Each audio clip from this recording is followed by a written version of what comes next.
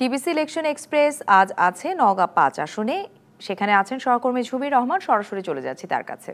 নওগাঁ পাঁচ আসন নওগাঁ সদর উপজেলা নিয়ে গঠিত যে এই আসনটিতে আজ সারাদিন আমরা চেষ্টা করেছি এখানকার কি সংকট রয়েছে আগামী দ্বাদশ জাতীয় সংসদ নির্বাচনকে সামনে রেখে যারা জনপ্রতিনিধি হিসেবে আসতে চাইছেন তাদের কাছে এই এলাকার মানুষের কি প্রত্যাশা রয়েছে। সেটি তুলে ধরার এই মুহূর্তে আমরা নওগাঁ পৌর আওয়ামী লীগ এবং বিএনপির নেতাকর্মীদের সাথে কথা বলব। নওগাঁ পৌর আওয়ামী লীগের সাধারণ সম্পাদক নাসিম আহমেদ আমাদের সাথে যুক্ত আছেন। শুরুতে তার কাছে আসতে চাই। একটু জানব যে এই গত পাঁচ বছরে এই নওগাঁ পাঁচ আসনে একজন নতুন সংসদ সদস্য হিসেবে একজন তরুণ প্রার্থী দায়িত্ব পালন করছেন। এই আসনটিতে কতটুকু উন্নয়ন হল? বিশেষ করে যদি পৌর, নওগাঁ পৌরসভার কথা বলি, সেই এলাকাটাতে কতটুকু সংকট রয়েছে বা কতটুকু সমাধান পেলেন আপনারা? ধন্যবাদ। আসলে আমাদের প্রয়াত নেতা নওগাঁর ইতিহাসের শ্রেষ্ঠ সন্তান, বাংলাদেশ আওয়ামী লীগের সংগ্রামী সাধারণ সম্পাদক জনতা জনাব মোহাম্মদ আব্দুল জলিল জলিল ভাইয়ের সুযোগ্য সন্তান barrister Nizamuddin Jalil John MP. তার অন্যের প্রতীক শিক্ষিত, ভদ্র একজন মার্জিত মানুষ। সেই কারণে প্রথমেই নওগাঁবাসীর পক্ষ থেকে এবং পৌর আওয়ামী লীগের পক্ষ থেকে বিশ্ব মানবতা নেত্রী শেখ হাসিনাকে সংগ্রামী সালাম জানাই, কৃতজ্ঞতা জানাই যে এরকম একজন শিক্ষিত এবং ভদ্র ব্যারিস্টার নিজামুদ্দিন জলিল জন এমপিকে নমিনেশন দিয়ে নগাবাসী এবং দল আমরা অত্যন্ত উপকৃত হয়েছি। পৌরসভার কথাটা যদি বলি আপনাদের কোনো সংকট রয়েছে না? তৃণমূল আওয়ামী লীগের মাঝে কিছু দ্বন্দ্ব রয়েছে এই আসনটিকে ঘিরে যেহেতু সদর উপজেলা এটি। একটু আমরা জানতে পেরেছি বিভিন্ন মানুষের সাথে আমরা এই আওয়ামী লীগের বিভিন্ন নেতাকর্মীদের সাথেও কথা বলেছি। বুঝতে পেরেছি আমরা যে কিছুটা আপনাদের মাঝে দ্বন্দ্ব রয়েছে বা সামনে নির্বাচনে কি সেই বিষয়গুলো আপনারা মিটিয়ে নেওয়ার চেষ্টা করছেন? আসলে দ্বন্দ্ব পৌর আওয়ামী লীগের মধ্যে আমাদের আমরা ঐক্যবদ্ধ আওয়ামী লীগ আমরা করে আসতেছি। আগামীতেও ইনশাল্লাহ করব। আওয়ামী লীগ বড় দল, এখানে দু একজনের চাওয়া পাওয়া প্রত্যাশা পূরণ অপূরণের ব্যাপার থাকতে পারে।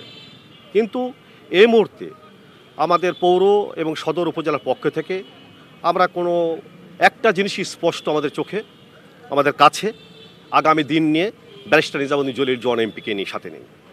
আর এখানে সহযোগী সংগঠন থেকে শুরু করে বিগত দিনে জলিল ভাই মানে প্রয়াত হওয়ার কারণে নগাতে একটু এলোমেলো সমস্যা দেখা দিয়েছিল।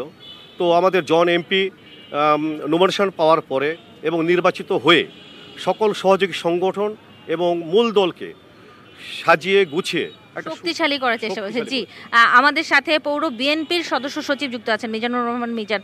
একটু আপনার কাছে জানতে চাইব যে আমরা যখন এই এলাকার সমস্যার কথা জানছিলাম তখন আমরা জানতে পেরেছি যে পৌরসভাতে বেশ কিছু সমস্যা রয়েছে রাস্তাঘাট হয়নি। এখানে তো পৌর মেয়র একজন বিএনপির তার উপরে অনেকটা অভিযোগের তীর আছে। এই বিষয়ে আপনি কি বলবেন? জি প্রথমে ধন্যবাদ জানাই আপনাকে এবং আপনার সাথে যারা অক্লান্ত পরিশ্রম করছেন ডিবিসি নিউজ আপনাদের সবাইকে ধন্যবাদ জানাই। তারপরেই আমি যেহেতু এটা ভাষা আন্দোলনের মাস, ফেব্রুয়ারি মাস, ভাষা শহীদদের প্রতি বিনম্র শ্রদ্ধা জানিয়ে বলছি যে আসলে আমাদের পরপর তিনটা মেয়র আমরা এখানে জনগণের সরাসরি ভোটে এখানে আমরা পেয়েছি, জিতে মানে জিতেছি আসনটি আমরা পৌরসভার।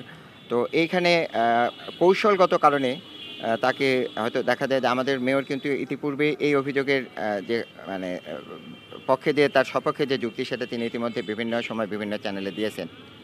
সেটা হলো যে রাজনৈতিক কৌশলগত কারণে যেহেতু তিনি বিরোধী দলের মেয়র আহ, সেক্ষেত্রে পর্যাপ্ত আপনার হচ্ছে বরাদ্দটা তাকে দেওয়া হয় না। হ্যাঁ এই এই- এটা তিনি এর আগে দিয়েছেন ব্যাখ্যাটা উনি দিয়েছেন।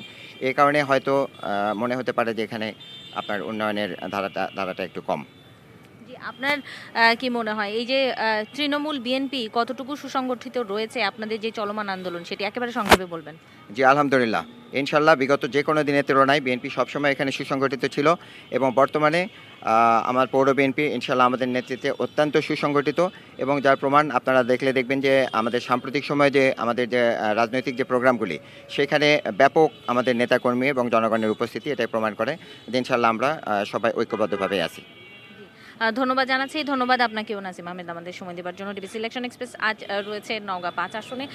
রাত এগারোটায় ডিবিসি ইলেকশন এক্সপ্রেসের যে আয়োজন রয়েছে, সেখানে এই আসনটির সংসদ সদস্য মুখোমুখি হবেন। সাধারণ মানুষের যেই প্রত্যাশাগুলো ছিল, তাদের যে অভিযোগগুলো ছিল, সেগুলোর উত্তর দেওয়ার চেষ্টা করবেন ডিবিসি ইলেকশন এক্সপ্রেসের সঙ্গেই থাকুন।